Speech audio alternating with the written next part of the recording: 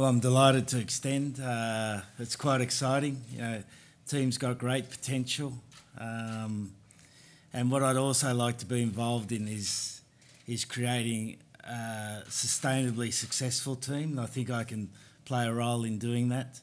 Uh, first priority is to win the World Cup, and then after that, making sure that the the guy who's going to take over has a good team to be involved in, has a good structure and hopefully I can play a role in, in ensuring that happens. So it's it's quite a unique situation in world rugby to be able to do this, um, and I'm delighted to be able to to be able to take a part in, in this process. So.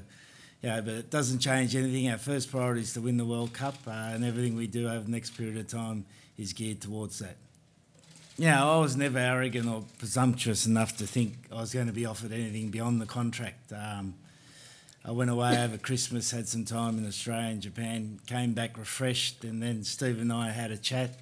He offered the opportunity. I could see the the value that possibly I could I can bring to that situation, um, and it was an easy decision in the end.